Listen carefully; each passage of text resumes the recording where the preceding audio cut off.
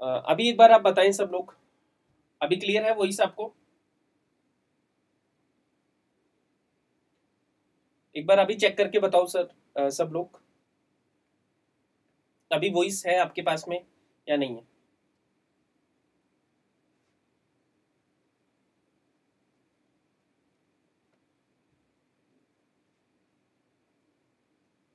आई think अभी clear होनी चाहिए आपको वॉइस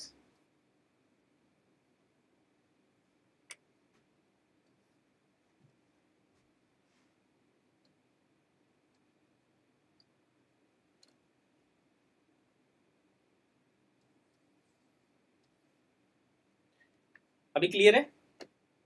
ओके हाँ चलिए, अभी क्लियर है आपकी वॉइस तो स्टार्ट करते हैं सेशन को। ये हमारा टेस्ट नंबर टू है, दूसरा टेस्ट है, जिसको अभी हम स्टार्ट करेंगे। कल हमने दस क्वेश्चन कर लिए थे। टेन क्वेश्चन हमारे हो चुके थे। आज क्वेश्चन नंबर इलेवन से हम शुरू करेंगे, ठीक है? क्वेश्चन नंबर इलेवन से लेके क्वेश्चन नंबर थर्टी तक आज हम कवर करने की कोशिश करेंगे इस सेशन में। ठीक है जी? क्लियर है ना? चल ठीक है? तो once again good evening to everyone आप सभी को गुड इवनिंग और स्टार्ट करते हैं, क्योंकि काफ़ी लोगों को आवाज़ नहीं आ रही थी तो आज हम करने वाले हैं हिस्ट्री का mock test mock test number two है, जिसको आज हम कवर करेंगे. कोशिश करेंगे कि पंद्रह से बीस क्वेश्चन एटलीस्ट हम करें आज की क्लास में. थोड़ा सा स्पीड से करेंगे, जिससे मैक्सिमम क्वेश्चन आपके कवर हो पाएँगे. ओके चलो जी तो स्टार्ट करते हैं. स्टार्ट करने से पहले एक बार आप थोड़ा सा शेयर कर दो इस सेशन को जल्दी से. जितने भी आपके ग्रुप्स हैं, जितने भी आपके फ्रेंड हैं हिस्ट्री वाले, उन सबको एक बार आप शेयर कर दो सब लोग जल्दी से। तो बाकी स्टूडेंट भी हमसे जुड़ पाए everyone please share the session session को थोड़ा सा शेयर करो आप सब। चलो तो शुरू करते हैं एंड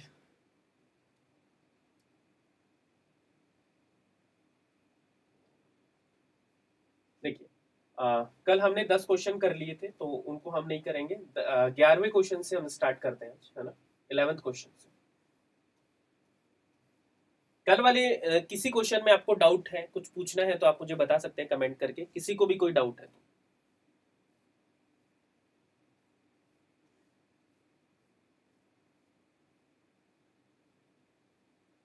चलो जी ठीक है? तो यहाँ से हम स्टार्ट करते हैं। आज का पहला क्वेश्चन आपके सामने है और क्वेश्चन बहुत अच्छा क्वेश्चन है, बहुत इंपॉर्टेंट क्वेश्चन है। ना?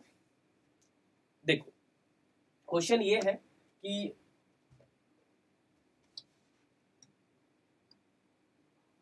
which one of the following does not belong to the Pallava style of architecture इनमें से कौन सा पल्लव शैली से संबंधित नहीं? ये आपको बताना है। ठीक है? अच्छा क्वेश्चन है, बताओ।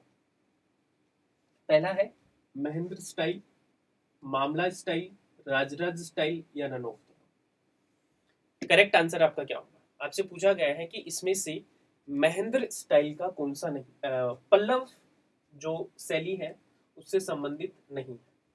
महेंद्र शैली ममल्ला शैली, राजराज शैली या उपयोग में से कोई नहीं।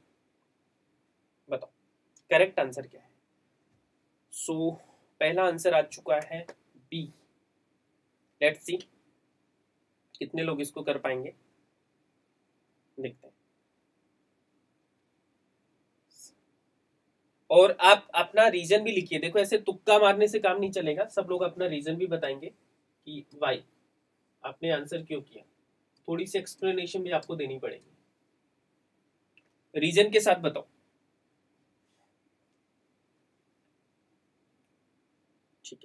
तो देखिए इसका जो आ, सही आंसर है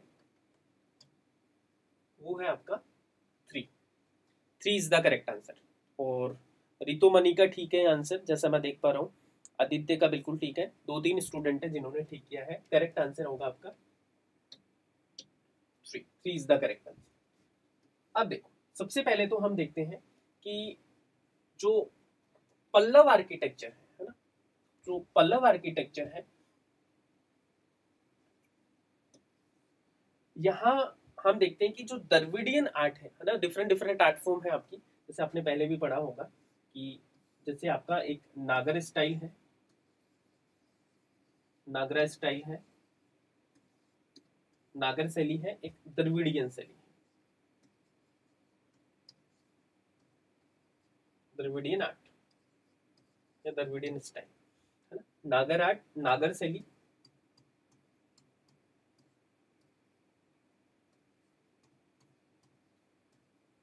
नागर शैली और द्रविडियन शैली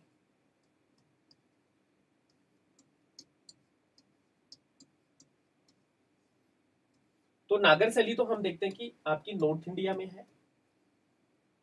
और द्रविडियन शैली हम जनरली देखते हैं कि साउथ इंडियन जो आर्ट है, उसको रिप्रेजेंट करती है। तो अब जो पल्लव आर्किटेक्चर है, ठीक है? जो पल्लव आर्किटेक्चर है, वो अर्ली द्रविडियन आर्ट को क्या करता है? रिप्रेजेंट करता है। जो प्रारंभिक द्रविडियन जो शैली है, उसको उसका जो डेवलपमेंट हुआ है, वो पल्लव आर्ट एंड आर्किटेक्चर के तहत हुआ है, ठीक है? represent an early stage of Dravidian art and architecture, which blossomed to its fullest extent under the Chola dynasty. ठीक है? तो इसको याद रखना है अब देखो, जो पल्लव आर्किटेक्चर है, उसको हम दो पार्ट में डिवाइड करते हैं। कितने पार्ट में डिवाइड करेंगे? दो पार्ट में। इसमें दो फेजेस में, ठीक है?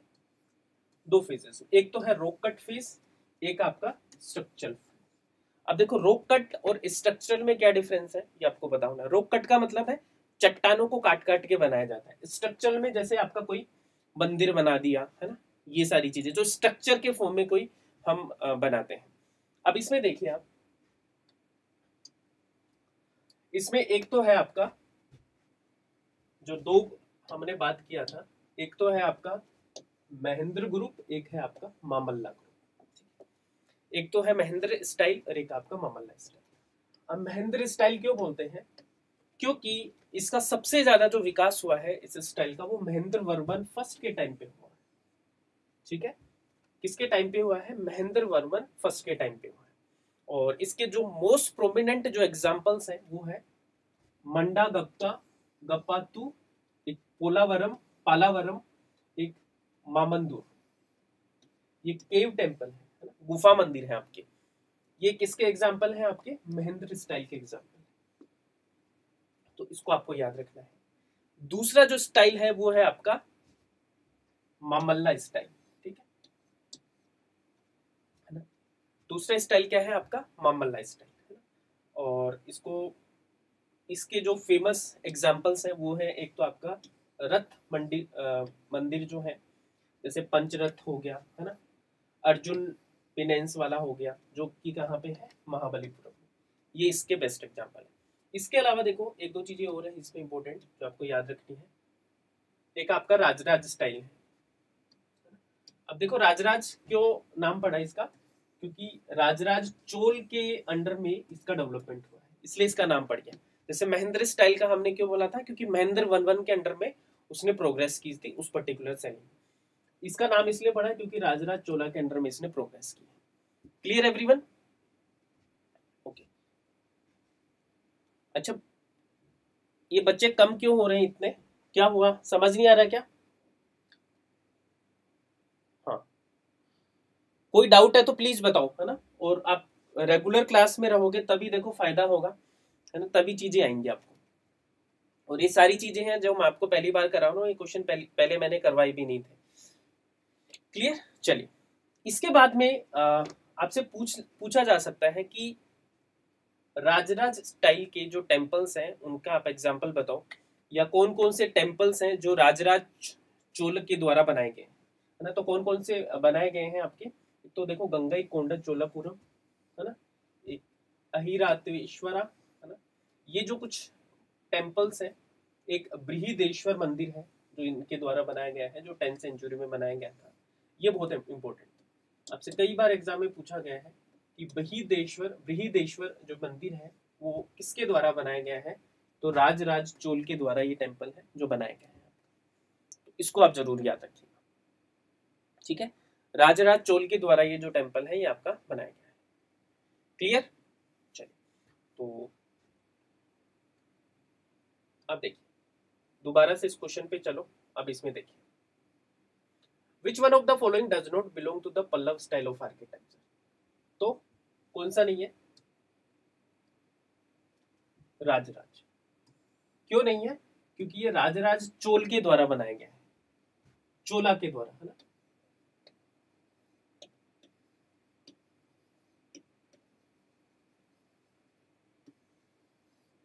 इसलिए नहीं है। महेंद्र शैली मामल्ला शैली ये दोनों की दोनों कौन सी है? पल्लव आर्किटेक्चर। और तीसरा वाला राजराज शैली कौन सा है? चोल। अब आया समझ में कि इतनी एक्सप्लेनेशन क्यों दी जा रही थी आपको? है ना? आई होप अभी आपको समझ में आया होगा। एवरीवन क्लियर है? सबको? इतनी बात है ना चलिए नेक्स्ट क्वेश्चन पे चलते हैं।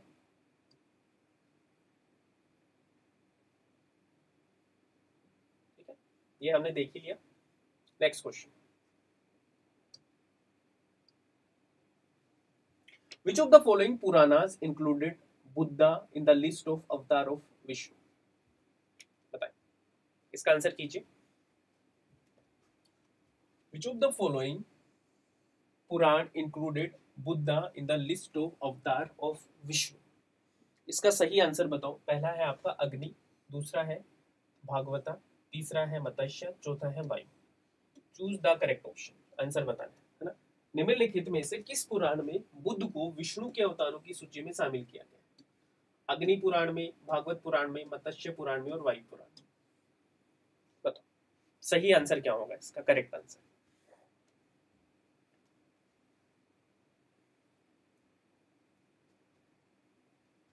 तो काफ़ी लोग इसका आंसर सी कर रहे हैं, है ना? देखते हैं। तो देखिए, इसका जो करेक्ट आंसर है, जो सही उत्तर है, वो क्या होगा? वो है आपका C. Is the correct answer अब क्यों है? इसको देखिए।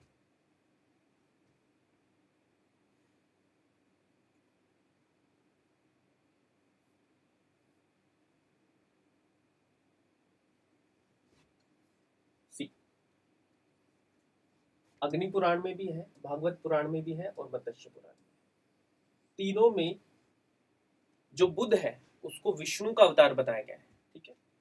बुद्धा, एच, लॉर्ड, विष्णु, अवतार।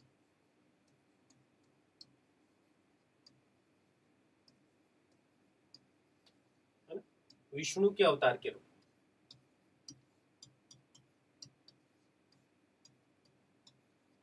विष्णु के अवतार के।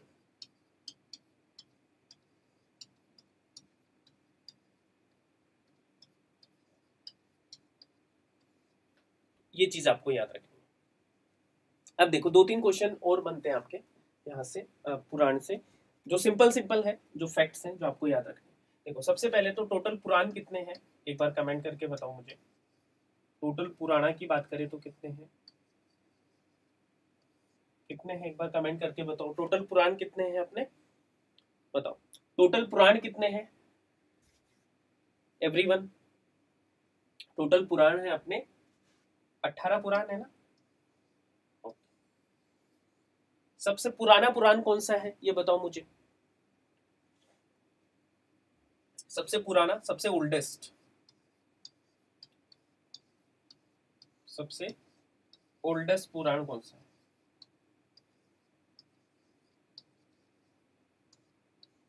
ये बताओ। सबसे ओल्डेस्ट पुराण कौन सा है? मत्स्य पुराण।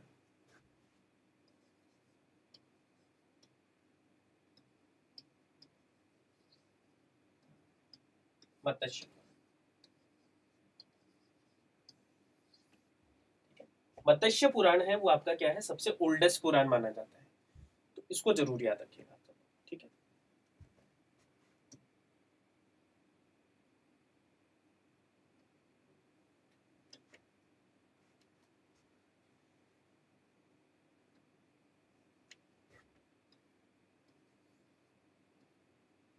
मत्स्य पुराण वेरी गुड चले आगे। ठीक है।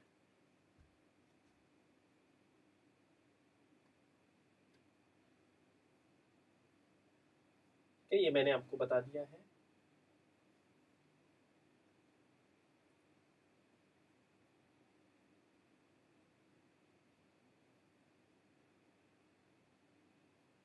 नेक्स्ट क्वेश्चन थर्टीन क्वेश्चन ये है आपका मिडिवल हिस्ट्री का क्वेश्चन है। आप बताओ इसका आंसर क्या होगा? क्वेश्चन है consider the following statement about the Ain Akbari and choose the correct option Ain Akbari के बारे में आपको बताना है और आपको स्टेटमेंट दिए गए हैं कि कौन सा करेक्ट आंसर जल्दी से बताओ। Every consider the following statements about the Ain Akbari and choose the correct answer आपके पास में तीन ऑप्शन है।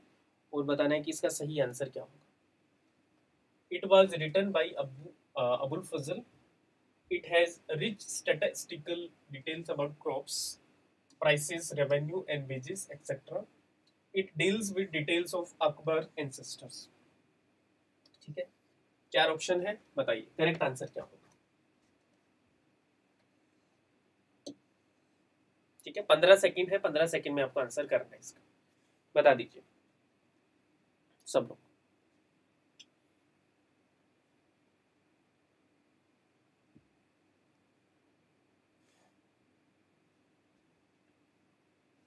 आईने परी। तो एक मिक्स आंसर है, वो यहाँ पे देखने को मिल रहा है। देखो, ये जो सारे के सारे जो क्वेश्चंस हैं, इनकी जो एक्सप्लेनेशन है ना, वो आपको मिल जाएगी, है ना? इसका आप टेंशन मत करो, अभी आप क्वेश्चन पे ध्यान दो। नोट्स का दिमाग पे मत नोट्स वगैरह आपको सब, जैसा कि मैंने बताया था कि पीडीएफ आपकी क्लास के बाद में मिल जाएगी। टेलीग्राम पे मिल जाएगी आपको। जो भी पीडीएफ है, वो सारी की सारी टेलीग्राम पे आपको मिल जाएगी। जो भी इसकी एक्सप्लेनेशन है है ना? जो भी इसका जो एक्सप्लेनेशन वाला पार्ट है, वो सब आपको मिल जाएगा। बस आपको अब क्वेश्चन की अपनी जो टेस्ट है, क्योंकि ये मोक टेस्ट है आपका तो एक्यूरेसी पे ध्यान दो और कितने आपके क्वेश्चंस करेक्ट हो रहे हैं, उस पर भी ध्यान दीजिए।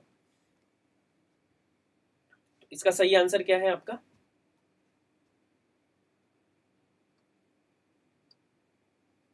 इसका सही आंसर है आपका ए है ना? और काफ़ी लोग इसको सही नहीं कर रहे थे। अब देखिए ए और बी आपके करेक्ट अबुल फजल के द्वारा लिखी गई है। इसमें तो कोई किसी को डाउट नहीं होगा कि आईने अकबरी के लेखक कौन है? अबुल फजल अबुल फजल। और आईने अकबरी में जो फ़सलें हैं, है ना, उनकी और आपके जो फ़सलों के क्या दाम होते थे, है ना, कितना उनपे कर लगाया जाता था, है ना, कितने जो मजदूर होते थे, जो कर्मिक होते थे, उनको कितना वेतन वगैरह मिलता था, इनकी जानकारी आपको आईने अकबरी में मिलती अब इसको थोड़ा सा वो डिटेल से देख लेते हैं ना। अब देख, सबसे पहले तो आईने अकबरी है। वो अकबर नामा का तीसरा वॉल्यूम है ना? अकबर नामा की तीन वॉल्यूम है आपके अकबर नामा जो है, किसके द्वारा लिखा गया था? आप मुझे कमेंट करके बताओ। इसका जो थर्ड वॉल्यूम है है ना? वो आपका क्या है? आईने अकबर। वो क्या है? आईने अकबर।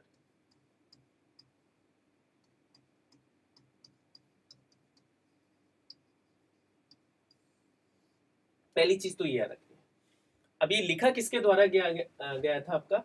ये अबुल फजल के द्वारा आपका लिखा गया था, इसको ज़रूर याद रखना है ना? ये सिक्सटीन सेंचुरी करिए इसमें। और इसमें आपको जो फ़सलें हैं, उनके दाम है है ना? कर कितना होता था, है ना? मजदूरों को वेजेस कितने मिलते थे, ये आपको पता लगता है। इसके अलावा देखिए, यहाँ पे जो इंडिया का जो कल्चर और जो ट्रेडिशंस है, उसके बारे में भी जानकारी मिलती है है ना? किस तरह का कल्चर और ट्रेडिशन था भारत का? और आईने अकबरी है वो पाँच पार्ट्स में डिवाइडेड है। पाँच बुक्स में। तो ये भी आपको याद रखना है, ठीक है? अब, यहाँ पे जो अकबर के जो पूर्वज थे, उनकी जो जानकारी मिलती है, वो पहले वॉल्यूम में मिलती है। जो अकबर नामा है, उसके फ़र्स्ट वॉल्यूम में ये जानकारी मिलती है। अकबर नामा का जो फ़र्स्ट वॉल्यूम है, वहाँ से आपको ये जानकारी मिलती है अकबर के एंसेस्टर्स अकबर के जो पूर्वज हैं, उनकी जो जानकारी मिलती है वो अकबर नामा के पहले वॉल्यूम से मिलती है। कहाँ से? फ़र्स्ट वॉल्यूम से। तो इसको भी आप लिख लीजिए। इतनी बात समझ में आई सबको? हाँ। चले आगे ओके नेक्स्ट फोर्टीन क्वेश्चन है, बताओ। The author of the book and title Bhagwat Bhagat movement चलो आप मुझे भगत मूवमेंट के बारे में भी बताना कि जो भगत मूवमेंट है, वो किसके द्वारा चलाया गया था, ये भी बताना। और पहले तो ये बताओ कि जो भगत मूवमेंट है, उसके लेखक कौन है? दूसरे नंबर पर ये बताओ कि भगत मूवमेंट है, ये किसके द्वारा चलाया गया था और कहाँ पे चला था ये भगत आंदोलन ये अच्छा क्वेश्चन है, बताओ, जल्दी से।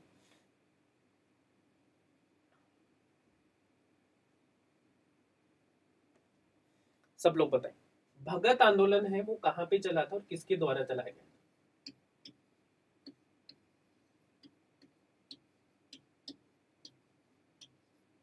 इसके बारे में बताओ।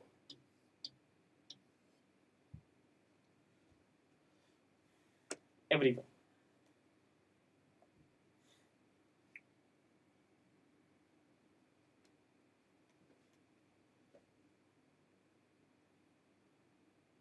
देखो क्लास का टाइमिंग फोर पीएम ही है यार। आप सब लोग पुराने स्टूडेंट हो, वो भी ऐसे कंफ्यूज कर रहे हैं। क्लास का जो टाइमिंग है, वो आपका फोर पीएम हो गया। अब हिस्ट्री की जो अपनी क्लास है, वो चार बजे कर रहे हैं अभी अपन। ठीक है? वो सात बजे वाला टाइम है, उसको अभी रिज़र्व रखते हैं। कभी इमरजेंसी में अगर एक्स्ट्रा क्लास लगानी पड़ी तो वो आप देख लेंगे। पर अभी आप चार बजे आओ सब लोग हिस्ट्री के लिए तो। ठीक है? काफ़ी लोग बहुत अच्छा आंसर दे रहे हैं। वेरी गुड है ना? राजस्थान में चला था, गोविंद गुरु के द्वारा चलाया गया था। ये बहुत अच्छी बात है। वेरी गुड है ना? अब देखो। इसका जो करेक्ट आंसर है वो क्या है आपका?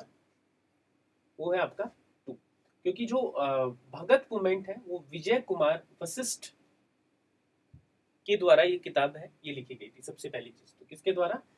विजय कुमार वशिष्ठ के द्वारा। तो B is the correct answer ठीक है? सबसे पहली चीज़ तो क्या याद रखनी है? इसका जो करेक्ट आंसर है, वो क्या है आपका? बी विजय कुमार वशिष्ठ।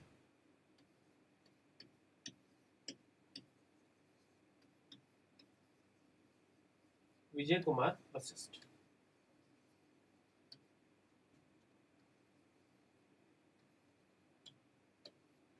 पहली चीज़ अब जो भगत मूवमेंट था वो किसके द्वारा चलाया गया था? इसके बारे में भी लिख लीजिए। देखो, जो भगत मूवमेंट था, भगत आंदोलन था,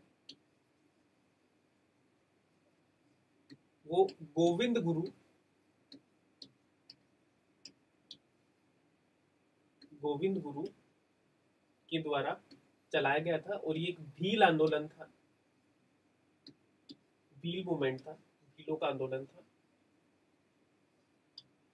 ठीक है? और कहाँ पे था? ये राजस्थान में था। राजस्थान। ठीक है? राजस्थान वाले एरिया में ये मूवमेंट आपका चला था। ठीक है? राजस्थान में भी मैं बात करूँ तो आपका जो एरिया आता है बेसिकली डूंगरपुर। उदयपुर वाला जो एरिया है वहाँ पे इन्होंने ये मूवमेंट है, उसको चलाया था। भील आंदोलन को, है ना? किसके द्वारा? गोविंद गुरु के द्वारा ये चलाया गया था। हाँ भील जनजाति हाँ। वेरी गुड है ना? चलिए। इतना समझ में आया सबको? किसी को कोई डाउट है तो आप मुझे बता दीजिए। किसी को भी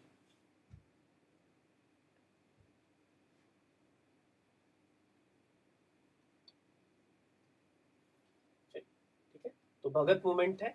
ये विजय कुमार वशिष्ठ का है और गोविंद गुरु ने भगत मूवमेंट स्टार्ट किया था राजस्थान में, ठीक है? ये बात हमने कर ली है और ये भील कम्युनिटी का आंदोलन था, है ना? इन्होंने संप सभा की भी स्थापना की थी। तो आपसे पूछ सकता है कि संप सभा की स्थापना किसने की थी? इसका एरिया था मेवाड़ वाला क्षेत्र, डूंगरपुर, गुजरात, विजयनगर और मालवा। ये थोड़ा सा देख लो। कि एरिया कौन सा था? एरिया था आपका मेवाड़, डूंगरपुर, गुजरात और विजयनगर वाला, है ना? नेक्स्ट बताओ, जल्दी से बताओ इसका करेक्ट आंसर क्या होगा आपका? Everyone he invented two Persian artist Mir Syed Ali and Abu Samad to establish a studio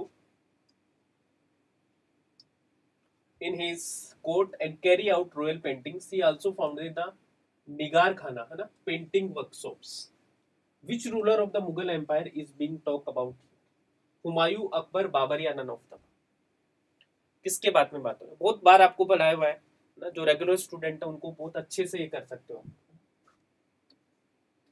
जो रेगुलर स्टूडेंट है वो बहुत अच्छे से इस क्वेश्चन को डील कर सकते हैं कोई दिक्कत नहीं होती बताओ क्या होगा इसका करेक्ट आंसर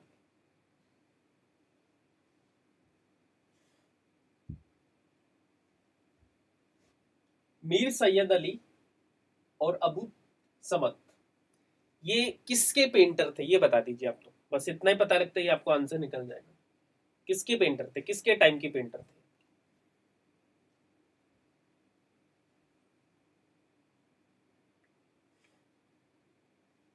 चलो तो आंसर इज़ वन सिंपल है, हुमायूं के हैं एक, Humayun.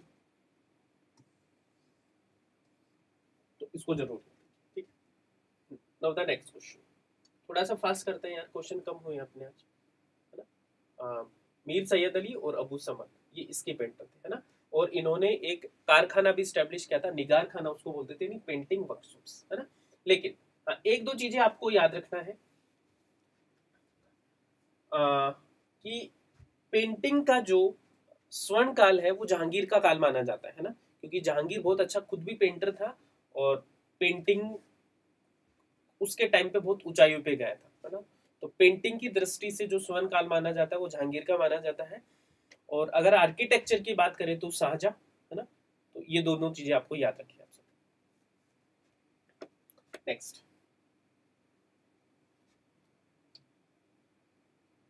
sixteen question list one है और लिस्ट सेकंड आपको बताना है कि करेक्ट आंसर क्या है।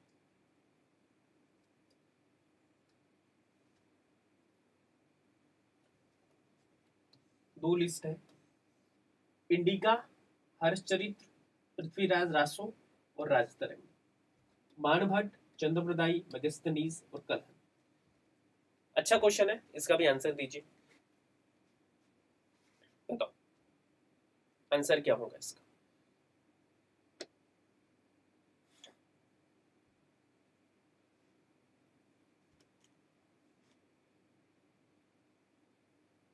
हाँ देखो, हिंदी और इंग्लिश दोनों में होगा प्रियंका एग्ज़ाम में, बिल्कुल। हिंदी, इंग्लिश में दोनों में होगा एग्ज़ाम में डोंट वरी तो देखिए, इसका जो करेक्ट आंसर क्या है? बहुत ही सिंपल सा यार, इतना टाइम नहीं लगना चाहिए। देखिए की इंडिका है आपकी? हर्षचरित्र बाणभट्ट, पृथ्वीराज रासो, चंद्र प्रदाई और राज तरंगनी कलहन बहुत सिंपल सा है है ना? इंग्लिश में भी देख लो, इंडिका मैगस्तनीस है बाण भट्ट है, पृथ्वीराज रासो चंद्रप्रदाई और राज तरंगनी कलहन अभी एक पृथ्वीराज मूवी भी आई थी, देखी होगी आप सबने। उसमें भी काफ़ी उल्लेख किया जाता है चंद्रप्रदाई का हाँ, आराम से। ठीक है तो करेक्ट आंसर क्या होगा बताओ? तीन। Three is the correct answer simple ऐसे क्वेश्चन तो आप नहीं छोड़ोगे, मुझे पता है। कोई दिक्कत नहीं। Seventeen question the peacock throne was constructed during the reign of मयूर सिंहासन का निर्माण किसके काल में हुआ जहांगीर, साजा, दारा सिको या नन ऑफ़ द इसका आंसर दीजिए आप। उज्जवल घोष, आपका जो डाउट है ना क्लास के बाद में बताना तो अपन वहाँ पे डिस्कस करेंगे, ठीक है? काफ़ी टाइम से आप परेशान हो रहे the peacock throne was constructed during the reign of Jahangir Shahjahan Dara Shikoh या नन ऑफ़ द अच्छा वीडियो स्टक हो रहा है। किस किस का हो रहा है? एक बार आप मुझे चेक करके बताओ। किसी का वीडियो स्टक हो रहा है क्या? क्योंकि काफ़ी लोग बोल रहे हैं। अभी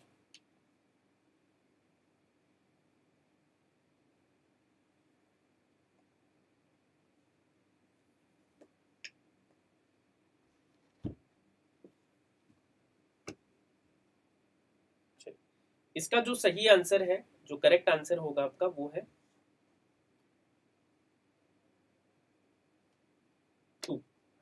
सिंपल है। साजा के टाइम पे हुआ था। किसी को डाउट नहीं होगा इसमें तो है ना? किसके टाइम पे हुआ था? मयूर सिंहासन का निर्माण शाहजहा के टाइम तो two is the correct now the next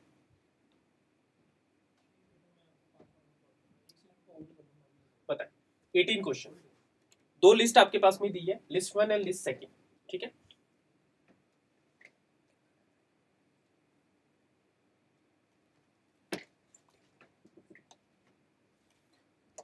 चलो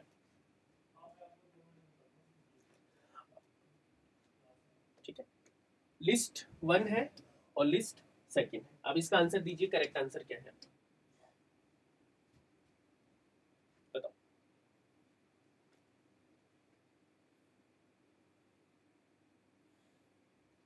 देखो अपन दो क्वेश्चन और करेंगे, है ना? दो क्वेश्चन को मैनेज कर लो आप।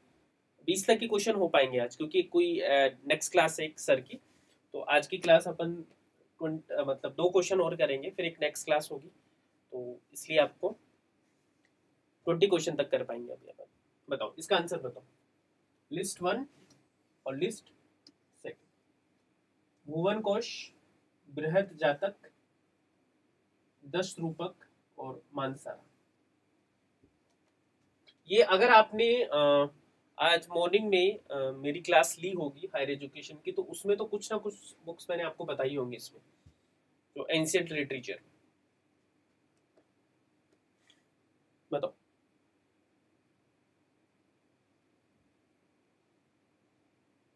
करेक्ट आंसर बताओ इसका, सब भुवन कोश, बृहत जातक, दस रूपक और मानसर सही विकल्प चुने।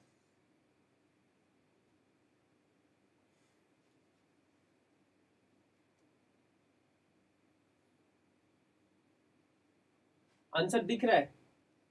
ओ तो गड़बड़ हो गया।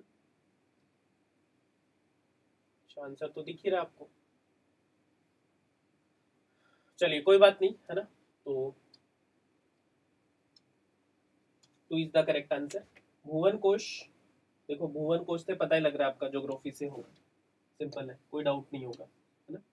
बृहद जातक एस्ट्रोलॉजी से, है ना? दस रूपक आपकी किताब है, वो ड्रामेटोलॉजी और मानसेरा आर्किटेक्चर बट इसको नोट डाउन ज़रूर कर लो आंसर तो दिख गया, लेकिन इसको थोड़ा सा याद आपको रखना पड़ेगा।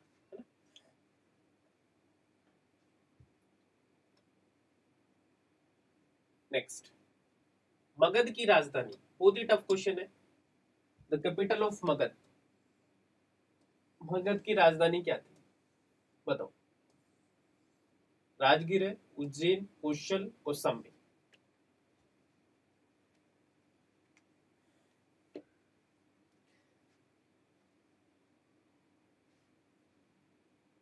सर बड़ा बड़ा अच्छा बनाइए। देखो बड़ा बड़ा अच्छा ही है। आई थिंक आपको दिख रहा होगा यार, बड़ा बड़ा अच्छा ही है ये। क्या दिक्कत है इसमें?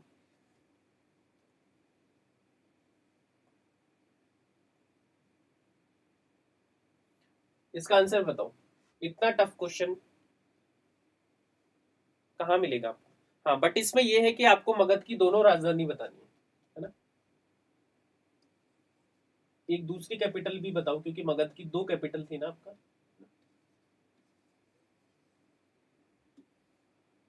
कौन कौन सी थी? एक तो आपको दी है एक और बतानी आपको। मगध की दो कैपिटल कौन कौन सी थी?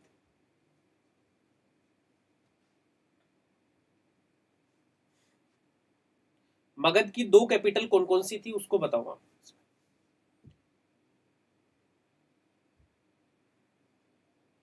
तो काफ़ी लोग ए आंसर दे रहे हैं। आंसर तो बहुत सिंपल सा आपका। राजगीर। ठीक है? और अब दूसरी कैपिटल और बताओ मुझे। दूसरी कैपिटल कौन सी थी इसकी?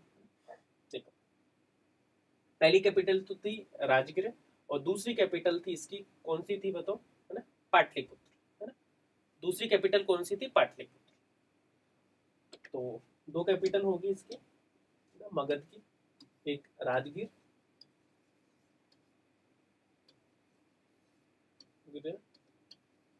एक गिरवी राज भी बोलते हैं, एक Pataliputra.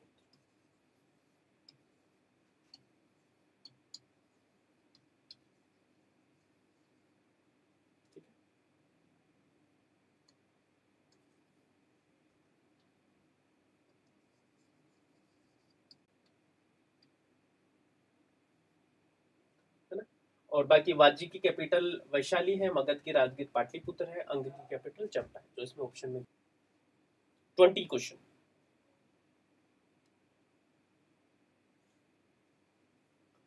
At which place it was a general practice to lay dead with head towards north? करवाया होगा कहीं ना कहीं आपको बताएँ At which place it was a general practice to lay dead with head towards north? Inamgaon Burzahom Mehrgarh Bhimbetka इसका सही answer क्या है आपका? बताएँ। करेक्ट आंसर बताओ सब लोग जल्दी से।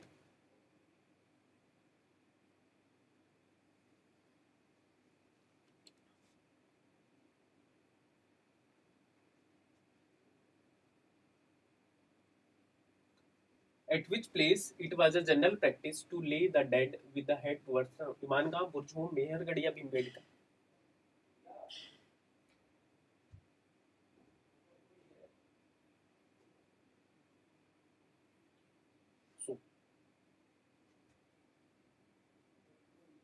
करेक्ट आंसर इज़ है ना? ईमान गाँव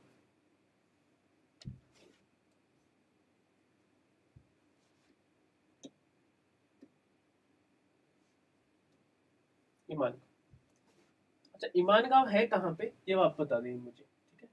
ईमान गाँव है, वो है कहाँ पे?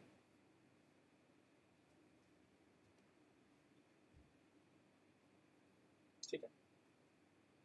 एक बार कमेंट करके बताओ आंसर इसका क्या है? ये। Next question. Which of the following animal was probably not known to the Vedic people? Vedic people को कौन से एनिमल की जानकारी नहीं थी?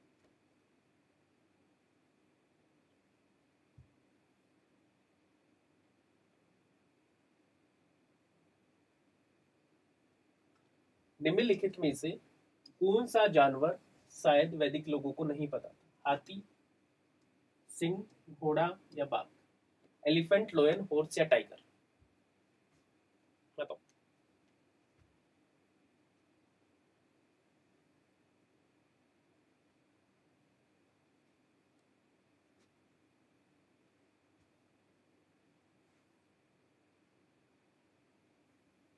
स्क्रीन को बड़ा करें।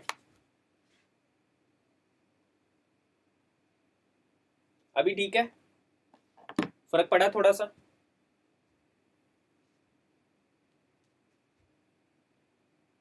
चलिए तो करेक्ट आंसर हाँ बिल्कुल सही है, महाराष्ट्र है ईमान गाँव महाराष्ट्र में है आपका। नो अब इसका जो करेक्ट आंसर है, वो क्या है आपका? ये कौन बताएगा? इसका जो करेक्ट आंसर है, वो है फोर यानी कि टाइगर है, वो नहीं जानकारी थी उनको। Four is the correct answer ठीक है? घोड़ा नहीं टाइगर। देखो, घोड़े तो थे ना, आर्य लोग जो थे, है ना, उनका मेन जो जीतने मतलब जो था वो आपका घोड़ा ही था। तो घोड़ा तो था, हाथी लायन और घोड़ा, ठीक है? टाइगर की जानकारी नहीं थी ठीक है? Answer is four four is the correct answer उसको ज़रूर याद next which of the following is incorrectly match simple सा क्वेश्चन है, बताओ।